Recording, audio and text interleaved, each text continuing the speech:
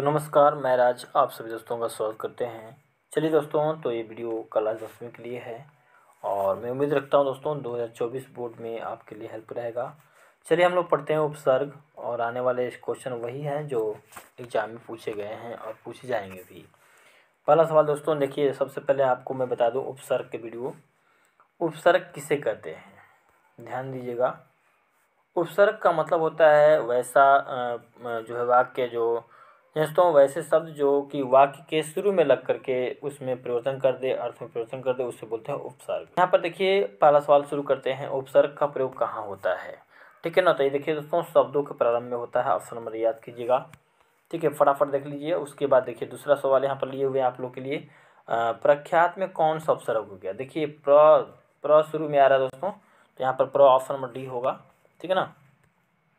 तीसरा सवाल यहाँ पर है, बेइंसाफ़ी में प्रयुक्त उपसर्ग कौन है? बेइंसाफ़ी। तो यहाँ पर तीसरा का आंसर हो जाएगा ऑप्शन नंबर ए बे होगा आपका उपसर्ग ओके? चलिए। चौथा सवाल दोस्तों, फटाफट ले लिए बाबू। चौथा सवाल यहाँ पर है, प्रतिकूल में कौन सा उपसर्ग है? प्रतिकूल। देखिए, यहाँ पर साफ़ साफ़ प्रतिकूल पूछा गया है। प्रतिकूल प्रतिकूल। यानी ऑप्शन नंबर जो है बी आंसर सही होगा। चौथा का बी ऑप्शन सही होगा। पांचवा सवाल यहाँ पर लिए हुए दोस्तों अनुवाद में कौन सा अवसर हुआ? देखिए अगर उपसर्ग नहीं आता है तो बस अनु प्लस वाद अनु हो जाएगा राइट आंसर ऑप्शन बी उसके बाद देखिए, यहाँ पर छठवां का, निस्तेज में कौन सा अवसर होगा? तो देखिए, यहाँ पर ध्यान दोस्तों, निस, ठीक है, निस्तेज का संधि जब विच्छेद करेंगे तो यहाँ पर निह यानी कहने का मतलब है दोस्तों, निस हलंत रहेगा प्लस जो है कि क्या होगा? तेज। तो बनेगा निस्तेज ऑप्शन सी। अगला सवाल लिए हुए दोस्तों, निर्वाह में कौन सा अवसर हुआ? निर्वाह, देखिए यहाँ पर आराम से एकदम संधि करेंगे, संधि पीछे तो निकल जाएगा। सातवां का, कह निर, निर्वाह संधि विच्छेद देखिए यहाँ पर र में हंत होगा, यानी निर, धन, वाह, ठीक है ना, ऑप्शन सी। उसके बाद यहाँ पर देखिए क्वेश्चन पूछा गया है आठवां।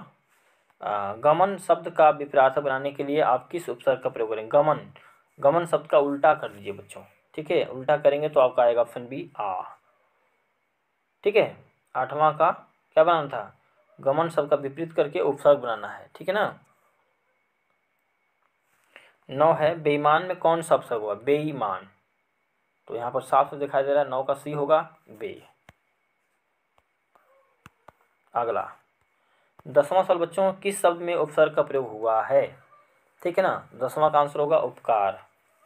उपकार में क्योंकि उप आया है शुरू में, ठीक है ना? इसमें बढ़ाई में लाभदायक में, ये सब में प्रत्यय आ रहा है लेकिन उपसर्ग नहीं आ रहा है। नेक्स्ट ग्यारह देखते हैं। स्वागत में कौन सा अवसर हुआ? देखिए, यहाँ पर पढ़े होंगे सु प्लस आगत। सु प्लस आगत, क्या बनेगा? स्वागत। तो यहाँ पर ग्यारह का डी होगा सु। उसके बाद बारह नंबर क्वेश्चन देखते हैं। कि दुर्लभ में कौन सा अवसर होगा? ध्यान दीजिएगा दूर, यहाँ हलंत रहेगा प्लस लभ दुर्लभ तो यहाँ पर ऑप्शन नंबर कौन होगा? बारह का? जी, बिल्कुल सही आंसर है। आप याद कीजिए फटाफट। और देखिए इस नियम को बी ऑप्शन सही है। उसके बाद तेरहवा सवाल देखिए दोस्तों, अभिनंदन शब्द में कौन सा अवसर है अभिनंदन, देखिए शुरू में अभी लगा है, अभी होगा। नेक्स्ट चौदह, अनचाहा शब्द में कौन उपसर्ग है? अनचाहा अनचाहा अनचाहा। ध्यान दीजिएगा, शुरू में ही लगता है बच्चों। ठीक है? तो बी आंसर सिर्फ़ है। अन उसके बाद बाबू, अगला सवाल है यहाँ पर। पंद्रह नंबर। नी नी उपसर्ग में निर्मित शब्द नहीं है। देखिए यहाँ पे बताना नी से कौन नहीं बनेगा। देखिए, ये छोटा नहीं है, ध्यान दीजिएगा, छोटा नहीं है। तो पंद्रह का आंसर देखिए, यहाँ पर निहित नहीं होगा निकुंज नहीं होगा, निधन नहीं होगा, निर्गुण हो जाएगा।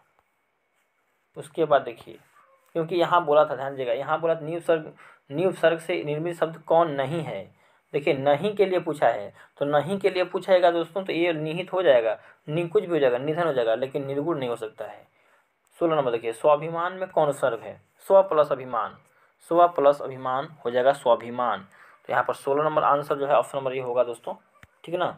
चलिए, अगला सवाल आपसे हम जो है, जानकारी प्राप्त करते हैं हम लोग। देखिए क्वेश्चन पूछा गया बिहार बोर्ड में, दो हज़ार बीस में। सुगंध में निहित उपसर्ग है, सुगंध। सुगंध, ठीक है? तो बहुत ही आसान क्वेश्चन है सुगंध। तो ऑप्शन नंबर सी होगा सु।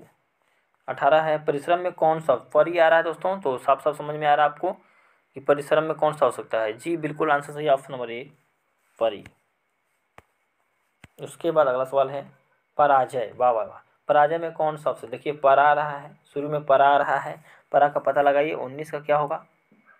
बिल्कुल बी आंसर नेक्स्ट प्रदर्शन में कौन सा अवसर है तो प्रदर्शन में कौन सा ऑप्शन है बच्चों? तो बीस का आंसर क्या होगा? बिल्कुल ऑप्शन बी होगा प्र। इक्कीस नंबर क्वेश्चन देखिए, विमुख शब्द में कौन सर्ग है? तो इक्कीस का आंसर जो है, आपका सही आंसर होगा बच्चों, बहुत बढ़िया।